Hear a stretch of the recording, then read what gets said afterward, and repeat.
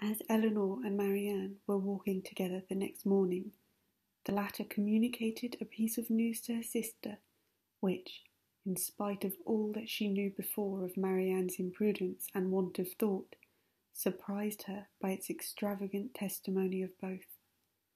Marianne told her with the greatest delight that Willoughby had given her a horse, one that he had bred himself on his estate in Somersetshire, and which was exactly calculated to carry a woman.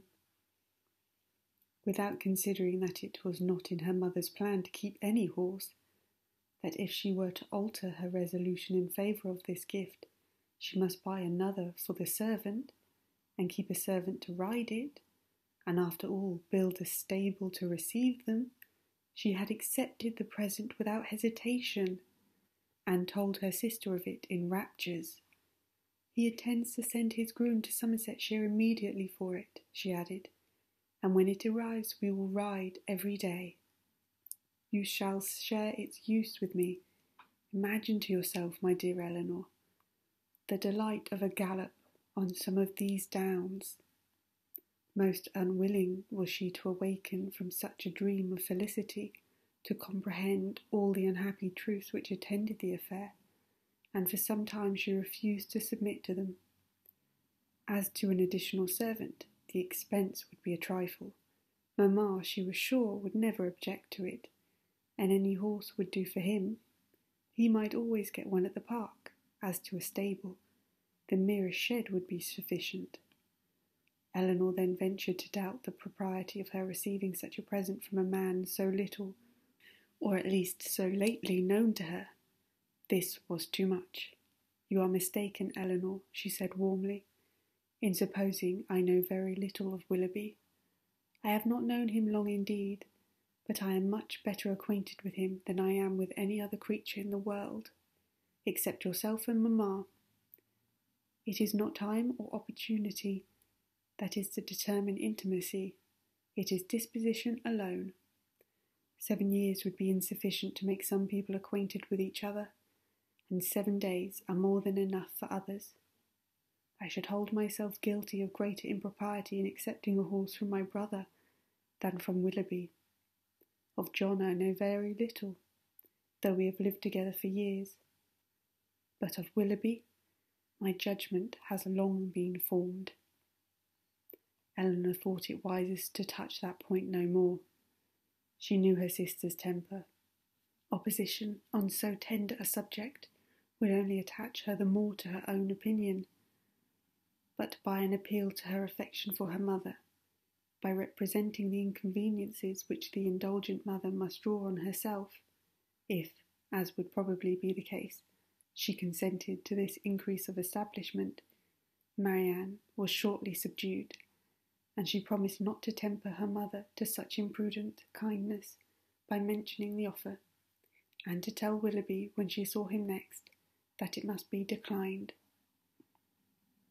She was faithful to her word, and when Willoughby called at the cottage the same day, Elinor heard her express the disappointment to him in a low voice on being obliged to forego the acceptance of his present. The reason for this alteration were at the time related, and they were such as to make further entreaty on his side impossible.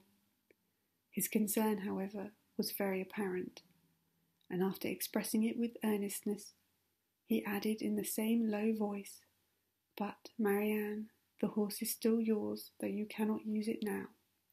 I shall keep it only till you can claim it. When you leave Barton to form your own establishment in a more lasting home, Queen Mab shall receive you. This was all overheard by Miss Dashwood, and in the whole of the sentence, in his manner of pronouncing it, and in his addressing her sister by her Christian name alone, she instantly saw an intimacy so decided, a meaning so direct, as marked a perfect agreement between them. From that moment she doubted not of their being engaged to each other, and the belief of it created no more surprise than that she or any of their friends should be left by tempers so frank to discover it by accident. Margaret related something to her the next day. She placed this matter in the still, clearer light. Willoughby had spent the preceding evening with them, and Margaret, by being left some time in the parlour with only him and Marianne, had the opportunity for observations, which, with a most important face, she communicated to her eldest sister when they were next by themselves. Oh, Elinor, she cried, I have such a secret to tell you about Marianne. I am sure she will be married to Mr. Willoughby very soon. You have said so, replied Elinor, almost every day since they first met on the High Church Down. And they had not known each other a week, I believe, before you were certain that Marianne wore his picture round her neck. But it turned out only to be a miniature of our great uncle. But indeed, this is quite another thing. I am sure they will be married very soon, for he has got a lock of her hair. Take care, Margaret. It may only be the hair of some great uncle of his. But indeed, Elinor, it is Marianne's. I am almost sure of it, for I saw him cut it off.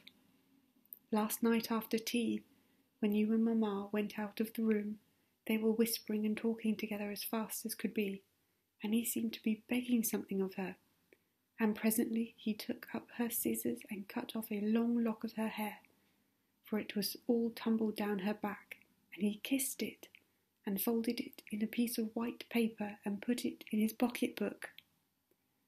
From such particulars, stated on such authority, Elinor could not withhold her credit. Nor was she disposed to it, for the circumstances was in perfect unison with what she had heard and seen herself. Margaret's sagacity was not always displayed in a way so satisfactory to her sister. When Mrs. Jennings attacked her one evening at the park to give the name of the young man who was Elinor's particular favourite, which had been long a matter of great curiosity to her, Margaret answered by looking at her sister and saying, I must not tell, may I, Elinor? This, of course, made everybody laugh, and Elinor tried to laugh too, but the effort was painful. She was convinced that Margaret had fixed on a person whose name she could not bear to, with composure to become a standing joke with Mrs. Jennings. Marianne felt for her most sincerely, but she did more harm than good to the cause by turning very red and saying in an angry manner to Margaret, Remember that whatever your conjecture may be, you have no right to repeat them. I never had any conjectures about it, replied Margaret. It was you who told me of it yourself. This increased the mirth of the company, and Margaret was eagerly pressed to say something more. Oh, pray, Miss Margaret, let us know all about it, said Mrs. Jennings. What is the gentleman's name? I must not tell, ma'am, but I know very well what it is, and I know where he is too. Yes, yes, we can guess where he is. At his own house at Norland, to be sure. He is the curate of the parish, I dare say. No, that he is not. He is of no profession at all, Margaret, said Marianne, with great warmth. You know that all this is an invention of your own, and that there is no such person in existence. Well, then, he is lately dead, Marianne, for I am sure there was such a man once, and his name begins with an F. Most grateful did Elinor feel to Lady Middleton for observing at this moment that it rained very hard, though she believed the interruption to proceed less from any attention to her than from her ladyship's great dislike of all such inelegant subjects of raillery as delighted her husband and mother. The idea, however, started by her, was immediately pursued by Colonel Brandon, who was on every occasion mindful of the feelings of others and much was said on the subject of rain by both of them. Willoughby opened the pianoforte and asked Marianne to sit down to it, and thus, amidst the various endeavours of different people to quit the topic, it fell to the ground. But not so easily did Elinor recover from the alarm into which it had thrown her. A party was formed this evening for going on the following day to see a very fine place about twelve miles from Barton belonging to a brother in law of Colonel Brandon, without whose interest it could not be seen, as the proprietor, who was then abroad, had left strict orders on that head. The grounds were declared to be highly beautiful, and Sir John, who was particularly warm in their praise, might be allowed to be a tolerable judge, for he had formed parties to visit them at least twice every summer for the last ten years. They contained a noble piece of water, a sail on which was to form the great part of the morning's amusement. Cold provisions were to be taken, open carriages only to be employed, and everything conducted in the usual style of a complete party of pleasure. To some few of the company it appeared rather a bold undertaking, considering the time of year, and that it had rained every day for the last fortnight, and Mrs. Dashwood, who had already had a cold, was persuaded by Elinor to stay at home. Their intended excursion to Whitwell turned out very differently from what Elinor had expected. She was prepared to be wet through, fatigued, and frightened, but the event was still more unfortunate, for they did not go at all. By ten o'clock, the whole party was assembled at the park, where they were to breakfast. The morning was rather favourable, though it had rained all night, and the clouds were then dispersing across the sky, and the sun frequently appeared. They were all in high spirits and good humour, eager to be happy and determined to submit to the greatest inconveniences and hardships rather than be otherwise. While they were at breakfast, the letters were brought in. Among the rest, there was one for Colonel Brandon. He took it, looked at the direction, changed colour, and immediately left the room. What's the matter with Brandon? said Sir John. Nobody could tell. I hope he has had no bad news, said Lady Middleton. It must be something extraordinary that could make Colonel Brandon leave my breakfast table so suddenly. In about five minutes he returned. No bad news, Colonel, I hope, said Mrs. Jennings as soon as he entered the room. None at all, ma'am, I thank you. Was it from Avignon? I hope it is not to say that your sister is worse. No, ma'am, it came from town, and is merely a letter of business. But how came the hand to discompose you so much? If it, it was only a letter of business. Come, come, this won't do, Colonel. So let us hear the truth of it. My dear madam, said Lady Middleton, recollect what you are saying. Perhaps it is to tell you that your cousin Fanny is married, said Mrs. Jennings, without attending to her daughter's reproof. No, indeed, it is not. Well, then, I know who it is from, Colonel. I hope she is well. Whom do you mean, ma'am? he said, colouring a little. Oh, you know who I mean. I am particularly sorry, ma'am, he said, addressing Lady Middleton, that I should receive this letter today, for it is on business which requires my immediate attendance in town. In town? cried Mrs. Jennings. What can you have to do in town at this time of year? My own loss is great, he continued, in being obliged to leave so agreeable a party. But I am the more concerned as I fear my presence is necessary to gain your admittance at Whitwell. What a blow upon them all it was! But if you write a note to the housekeeper, Mr. Brandon, said Marianne eagerly, will it not be sufficient? He shook his head. We must go, said Sir John. It shall not be put off when we are so near it. You cannot go to town till tomorrow, Brandon, that is all.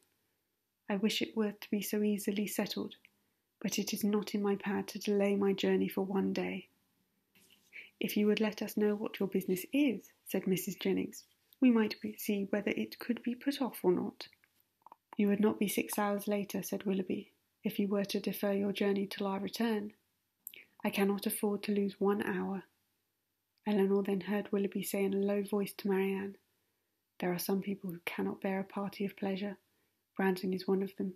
He was afraid of catching a cold, I dare say, and invented this trick of getting out of it. I would say fifty guineas the letter was his own writing. I have no doubt of it, replied Marianne. There is no persuading you to change your mind, Brandon? I know of old, said Sir John.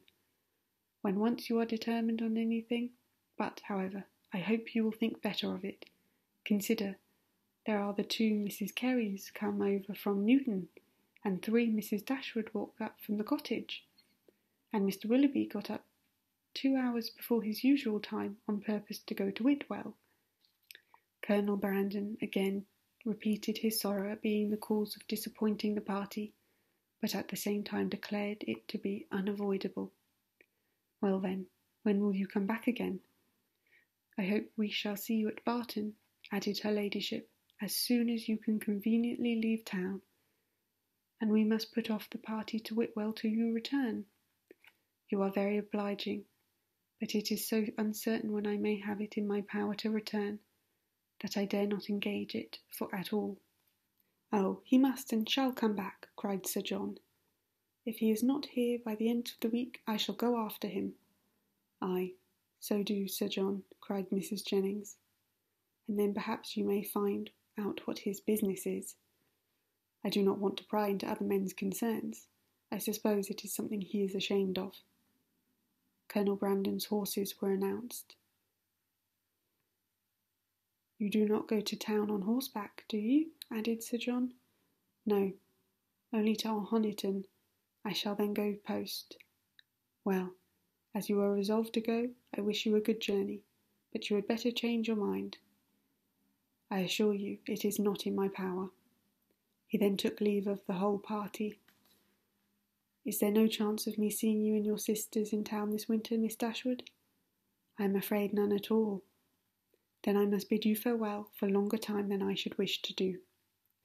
To Marianne he merely bowed and said nothing. Come, Colonel, said Mrs. Jennings, before you go, do let us know what you are going about. He wished her a good morning, and, attended by Sir John, left the room. The complaints and lamentations which politeness had hitherto restrained now burst forth universally, and they all agreed again and again how provoking it was to be so disappointed. I can guess what his business is, however, said Mrs. Jennings exultingly. Can you, ma'am? said almost everybody. Yes, it is about Miss Williams, I am sure. And who is Miss Williams? asked Marianne. What? Do not you know who Miss Williams is? I am sure you must have heard of her before. She is a relation of the Colonel's, my dear. A very near relation. We will not say how near, for fear of shocking the young ladies. Then, lowering her voice a little, she said to Elinor, She is his natural daughter. Indeed! Oh, yes and as like him as she can stare. I dare say Colonel will leave her all his fortune. Then Sir John returned. He joined most heartily in the general regret on so an unfortunate an event, concluding, however, by observing that as they all got together, they must do something by way of being happy. And after some consultations, it was agreed that although happiness could only be enjoyed at Whitwell, they might procure a tolerable composure of mind by driving about the country. And carriages were then ordered. Willoughby's was first, and, and Marianne never looked happier than when she got into it. He drove through the park very fast, and they were soon out of sight, and nothing more of them was seen till near return, which did not happen till after the return of all the rest. They both seemed delighted with their drive, but said only in general terms that they had kept in the lanes, while the others went on the downs.